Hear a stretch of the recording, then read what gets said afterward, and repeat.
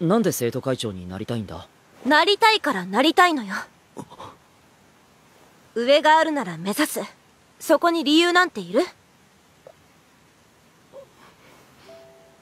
副会長候補はいるのか？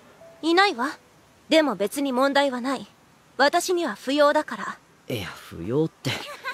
ペアでの立候補がルールである以上そうはいかんだろ名目上の副会長がいればいいんでしょ？適当に私を担いでくれる人を探すわようそうか И ты бы вместе со мной.